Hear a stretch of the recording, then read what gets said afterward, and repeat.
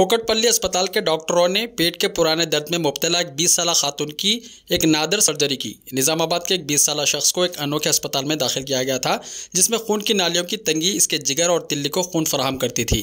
अस्पताल के डॉक्टरों ने तिल्ली को निकालने और खून की नाली को दोबारा जोड़ने के लिए छः घंटे तक मेहनत की।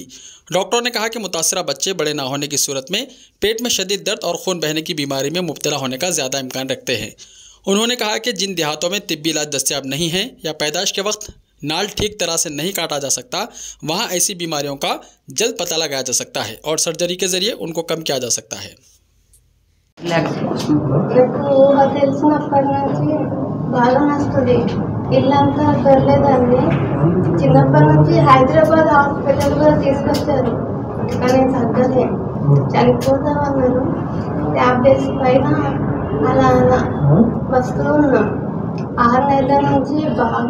వచ్చేది ట్యాబ్లెట్స్ ఇంజెక్షన్స్ కూడా పనిచేయలేదు అయితే ఒక మాకు తెలిసిన శ్రీదర్శనం అని నాన్న వెళ్తారు. అక్కడ ఒక అన్నయ్య ఇలానే సార్ పేపర్ చూసి సార్ దగ్గరికి వచ్చారని మమ్మల్ని తీసుకొచ్చారు. సార్ గురించి చూడంగానే ఆపరేషన్ చేస్తా అన్నారు లేవలేకపోయినా ఆపరేషన్ చేస్తా ఇప్పుడు ఎట్లుంది? ఇప్పుడు ఎలా ఉంది? ఇప్పుడు ఎలా? ఇప్పుడు ఎలా ఉంది? నీకు నొప్పి లేదు సార్ వాళ్ళందరూ చాలా బాగా చూసుకున్నారు. నమ్ముకుంటూ మీడియా మిత్రులందరికీ నమస్కారం. ఈరోజు నేను ఒక ఇంపార్టెంట్ రేర్ సర్జరీని మన దగ్గర షేర్ చేసుకుంటానంట.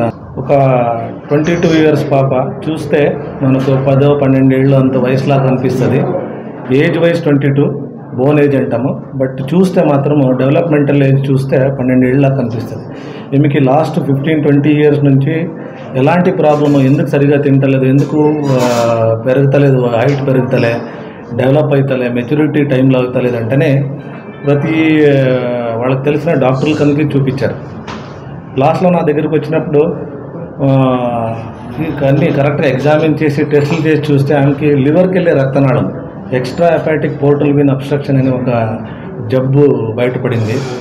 అది మన ఇండియాలో కామన్గా పూర్ పీపుల్ అంటే సమాజంలో బడత బడతనం ఎక్కువ ఉండే వాళ్ళకు పావర్టీ ఎక్కువ ఉండే వాళ్ళకు హోమ్ డెలివరీస్ అంటే ఏం చేస్తారు విలేజెస్లో జరిగినప్పుడు వాళ్ళు అంబులికల్ కార్డ్ని అంటే బొడ్డుని కట్ చేసినప్పుడు అన్స్టెరైల్ టెక్నిక్స్ అంటని అంటే పసుపు పెట్టడము ఏదో చేసి ఇన్ఫెక్షన్ అయినప్పుడు ఎందుకంటే ఆ- రక్తనాళమే మనకు లివర్కి వెళ్తుంది కాబట్టి ఫుడ్ సప్లై కింద పట్టులో ఉన్నప్పుడు అది ఇన్ఫెక్షన్ అయ్యి బ్లడ్ క్లాట్ అయిపోయి ఆ రక్తనాళం లివర్కి లోపలికి వెళ్ళి రక్తనాళం బ్లాక్ అయిపోతుంది. దానివల్ల న్యాచురల్గా షంట్స్ సెంటర్ డెవలప్ అవుతాయి అంటే రక్తనాళాలు లావడము ఫుడ్ పైప్లో రక్తనాళాలు లావడము ఈ ప్లీహం ఇది ఈ సైజు ఉండాలి.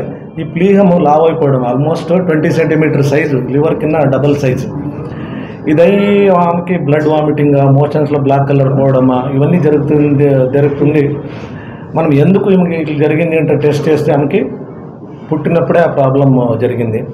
దీనికి ఒకటే ఒకటి ఏంటంటే మన ఇండియాలో అలాగే వదిలితే ట్యాబ్లెట్లతో మేనేజ్ చేద్దామంటని బ్లడ్ వామిటింగ్ అయినప్పుడు చూద్దాం ఏంటంటే చేస్తే మనిషి చేతికి దొరకకపోవచ్చు. సో కాబట్టి వీళ్ళకి మనము ప్లాన్డ్గా ఆపరేషన్ చేసి ఆ స్ప్లీహం అనేది తీసేసి దానికి వెళ్ళే రక్తనాళం ఏముంటుందో దాన్ని కిడ్నీకి వెళ్ళే రక్తనాళానికి జాయిన్ చేస్తాం.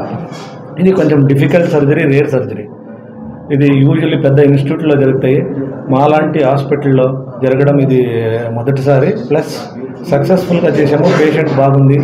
పేషెంట్ ఇప్పుడు దీని తర్వాత ఆమె డెవలప్మెంట్ కానీ ఆమె హైట్ పెరగకపోవచ్చు. ఎందుకంటే బోన్ ఏజ్ అయిపోయింది కాబట్టి ట్వంటీ వన్ ఇయర్స్ క్రాస్ అయిపోయింది కాబట్టి ఆమె హైట్ పెరగకపోవచ్చు. బట్ నార్మల్ షేప్ కానీ ఆమె పీరియడ్స్ నార్మల్ అవ్వడం కానీ ప్రెగ్నెన్సీ టైంలో ప్రాబ్లం కాకుండా ఫ్యూచర్ బాగుంటుంది. ఉంటుంది. అందుకనే పిల్లలు వెయిట్ పెరగకపోవడము వెయిట్ కూడా హైట్ పెరగకపోవడం. వెయిట్ ఎందుకు అంటే బ్లడ్ వెజిల్స్ డిస్టర్బెన్స్ వల్ల ఎక్కువ తినలేకపోవడము. కొంచెం తిన్నా ఫుల్ అయిపోవడము. ఎందుకంటే పొట్టలో సగానికి ఎక్కువ స్పేస్ ఇదే స్ప్లీనే తీసేసుకుంటుంది కాబట్టి కొంచెం తినగానే ఫుల్ అయిపోవడము తినలేకపోవడము. దానివల్ల గ్రోత్లో డిస్టర్బెన్సెస్ ఉంటాయి. వెయిట్ హైట్ పెరగకపోవడానికి రీజన్ అదే.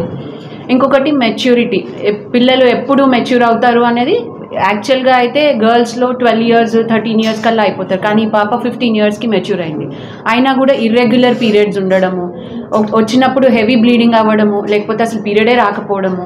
ఈ హెవీ బ్లీడింగ్ ఇవన్నీ ఎందుకు వస్తాయి అని అంటే బ్లడ్లో ప్లేట్లెట్స్ అనేవి తగ్గిపోతాయి. ప్లేట్లెట్స్ తగ్గిపోవడం వల్ల బ్లీడింగ్ స్టార్ట్ అయినప్పుడు ఆగదు. మనం మన అది ఆపడానికి మళ్ళీ ట్రీట్మెంట్ ఇవ్వాల్సి వస్తుంది. నెక్స్ట్ ఇట్లాగే తెలియకుండా ఊర్లలో ప్రెగ్నెన్సీస్ వచ్చేస్తాయి. ప్రెగ్నెన్సీ ఓన్లీ మన దగ్గరికి వచ్చినప్పుడు బ్లడ్ వామిటింగ్స్ అట్లాంటివి ఎక్కువ కనిపిస్తూ ఉంటాయి. ఎందుకంటే మన స్టమక్లోకి వెళ్ళే బ్లడ్ వెజల్స్ కూడా పెరిగి రప్చర్ అవుతాయి అన్నమాట. మామూలుగా ప్రెగ్నెన్సీలోనే చేంజెస్ వల్ల వామిటింగ్స్ ఇవన్నీ ఎక్కువ ఉంటాయి. అది బ్లడ్ uh, ఎక్కువ వస్తూ ఉంటుంది. సో అప్పుడు ఎమర్జెన్సీగా ఆ బ్లడ్ వెజల్స్ని లైగేట్ చేయడం అవన్నీ చేయాల్సిన అవసరం ఉంటుంది.